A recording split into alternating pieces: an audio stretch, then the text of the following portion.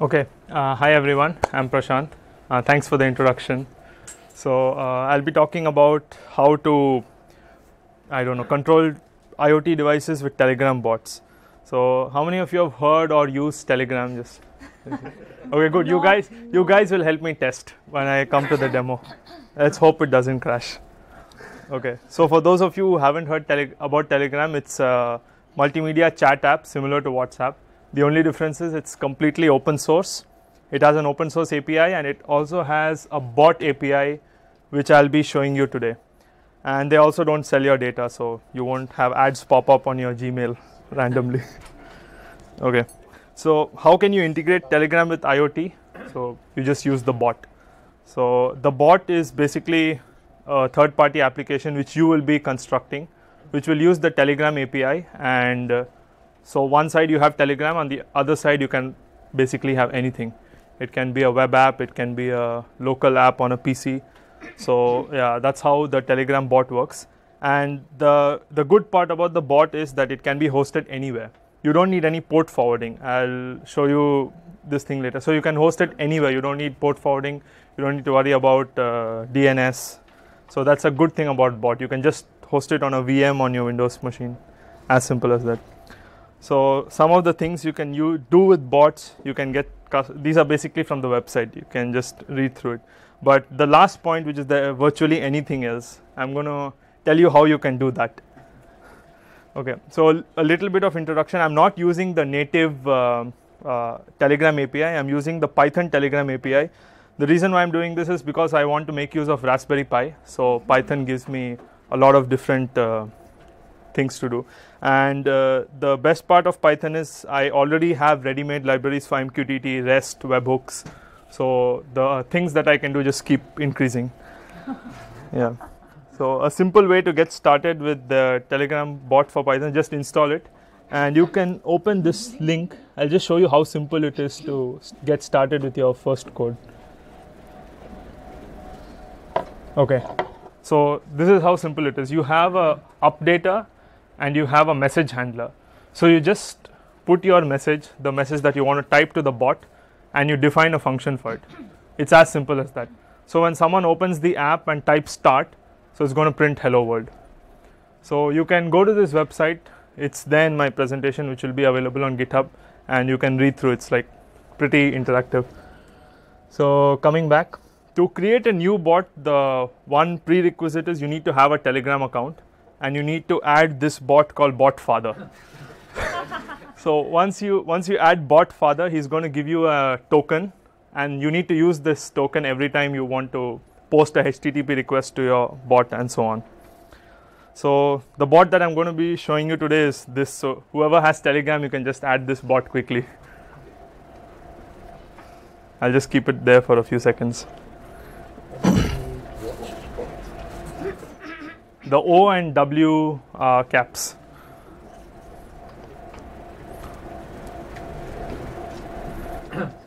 okay, so I, will move on without delay.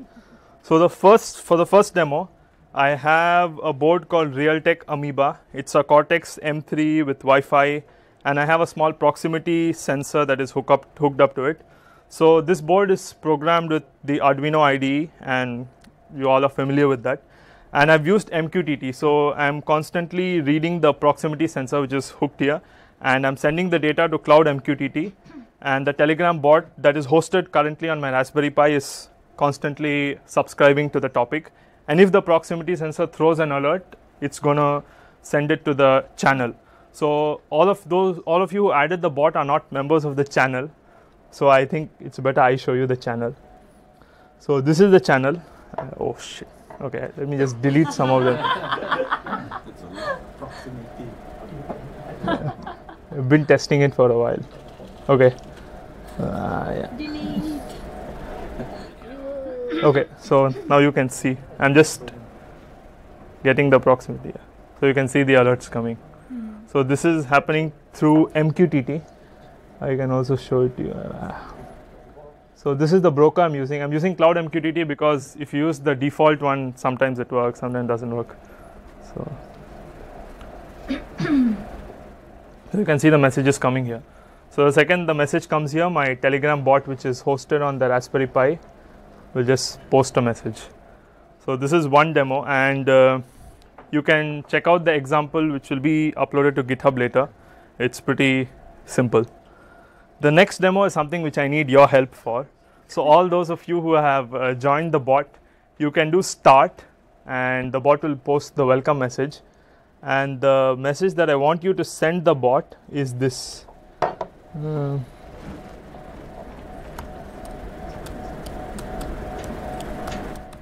so send cam capture and it's going to capture an image from the Raspberry Pi cam and reply it to your chat. So I want everyone to try it. I want the system to get overloaded and see if it works. So if you see that the image has just come. so this is the second demo. If any of you want to try it, I'll just wait for a moment.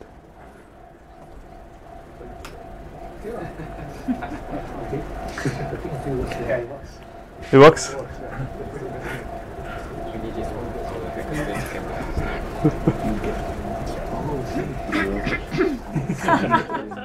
Anyone facing interruptions? Box must be in. Okay, there are some errors, so I, I think someone might not have got their image.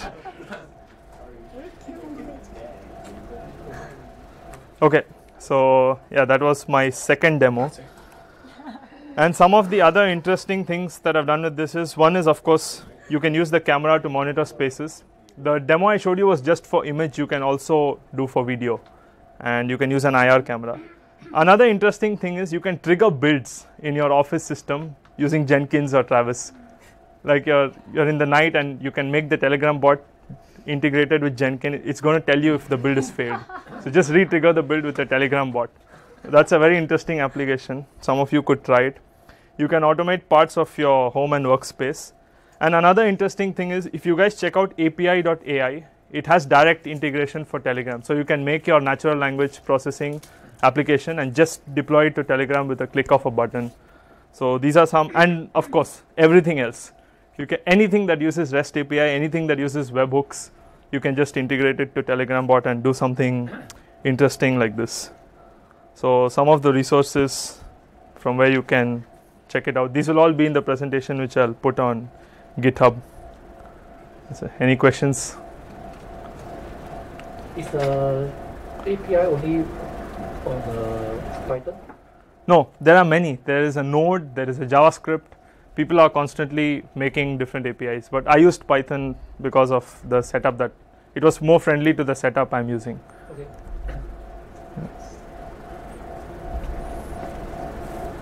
What plan are you using on this cloud MQ? The basic one, the one that's called Cute Cat. one. Okay. Yeah, the most basic one that gives you 10, uh, div- 10 connections.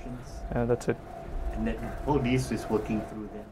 There is only one, two connections currently. So the Raspberry Pi is listening, Yes. is subscribing, and the Ameba board is posting. So I, yeah, just two. And how are the both of them are on Wi-Fi? Or, Yeah, both are on Wi-Fi. oh yeah. We can go there. Yeah. Yeah. Okay. Thank you.